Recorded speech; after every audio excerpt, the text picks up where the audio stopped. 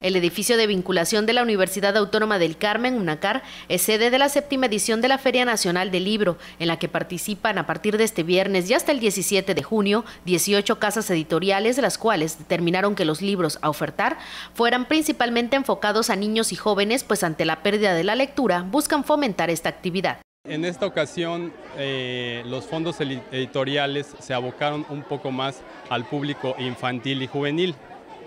Entre los sellos editoriales que te puedo mencionar, eh, destacan la editorial Random House, eh, la editorial Emu, la editorial Trillas, la revista Algarabía, que es una publicación que de algunos años a la fecha ha tomado mucho auge.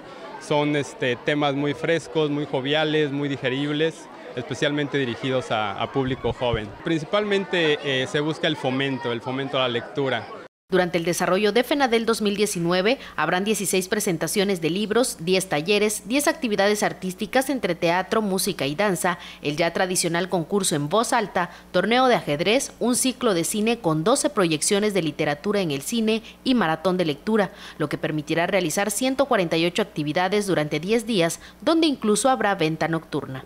En el marco de este encuentro literario se ofrecerá un homenaje a Maurice Salvin George, presidente editor de la revista Voces del Periodista y director general del Club de Periodistas de México, y David Failtenson, cronista y periodista deportivo mexicano, ofrecerá una conferencia. Con imágenes de Pedro Méndez, Perla Prado Gallegos, Telemar, Carmen.